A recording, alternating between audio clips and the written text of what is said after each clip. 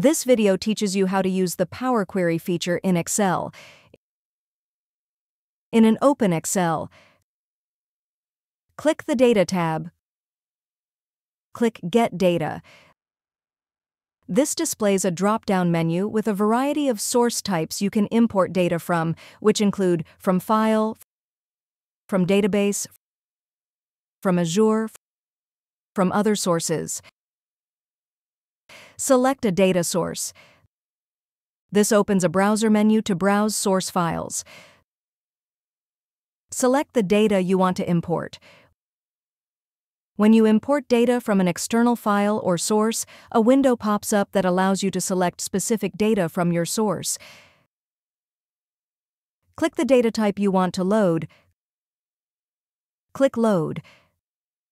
This loads the data and creates a connection to the data source. All queries are listed under the Workbook Queries sidebar to the right. Double-clicking a query opens the query editor.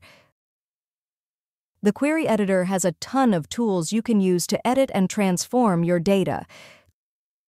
Click Close and Load to exports the data from the query editor into the Excel worksheet.